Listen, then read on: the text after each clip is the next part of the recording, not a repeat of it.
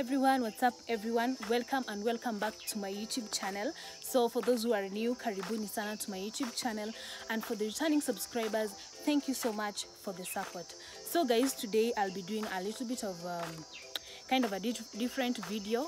So i'll be doing a traditional kind of video.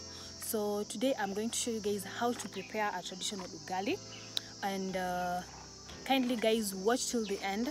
Subscribe like share comment so most probably most of you have already seen the traditional ugali or they have already tasted the traditional ugali. So for those who have not yet tasted this is for you guys. And for those who have tasted keep supporting your girl.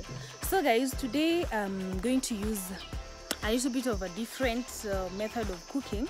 That means i'm going to use the three stone method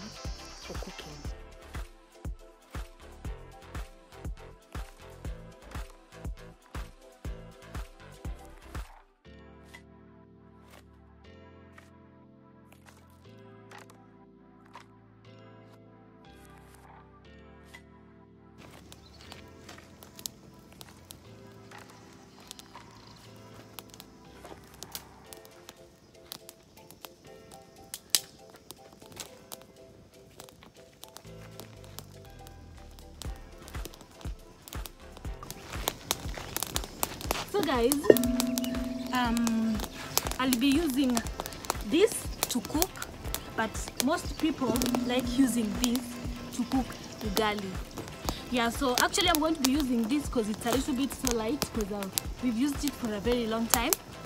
So today i'll be using this to prepare ugali so what you need to prepare ugali are only two things that's water and the flour.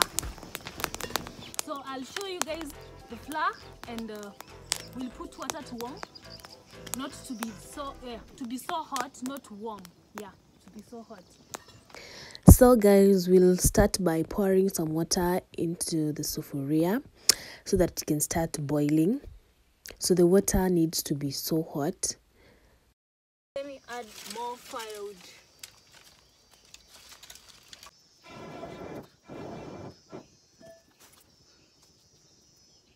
so guys as the water is still boiling so let me just show you how the flour looks like. So as you can see actually you might think the flour is very white. It's not white. Actually it's um, a mixture of millet and um, maize.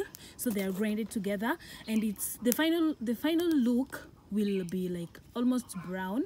So guys our water is almost ready so what i usually do is i usually add a little bit of some unga that's the flour just to help me know if the water is almost. So we'll just give it a little bit of time. So guys by adding that little bit of flour it helps me know that the water is ready. Since um, you can see they are little they look like effervescence i don't know bubbles but that's how i get to know that the water is ready.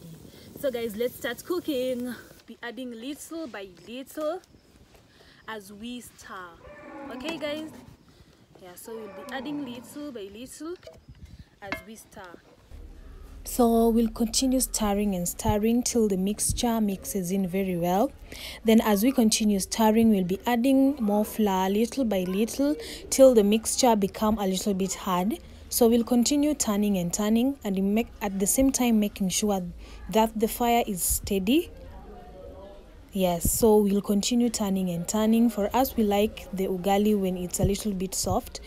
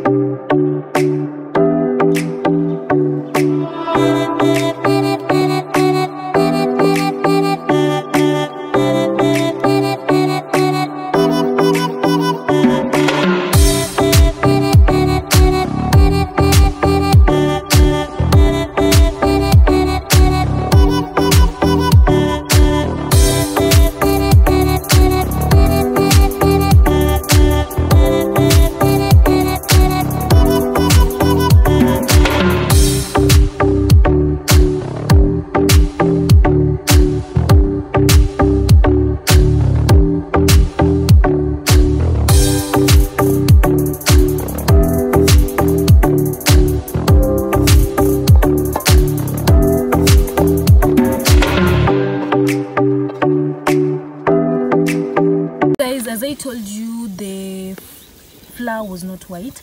So as you can see guys it's not that white. It's kind of brown. That's because of the millet. So guys our ugali is ready and uh, we are leaving it for some time so that it can uh, get some a little bit of heat. Then we remove it. So yeah so guys please comment down below if you have ever this ugali and for those who have not yet tried it out kindly try it out and me what you think. Yeah. For those who have tried it out you can also tell me what you think about this type of ugali. And um, this ugali can go in with any meal many meals not any but many meals like fish meat it can go with in with kales um, uh, chicken many many more So guys, our ugali is now ready. So I'll go in with the cooking stick just to shape the ugali and to make it a little bit round.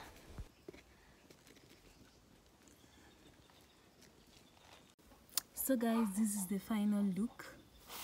Told you guys it's not going to turn out white because of the mixture of the millet. And don't worry about the noise it's the hen. So guys i'll be going in with um, the traditional burger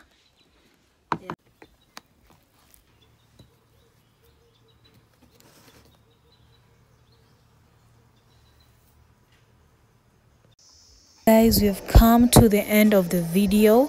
Thank you for watching till the end. Remember to subscribe if you have not and kindly drop a good comment at the comment section for your girl.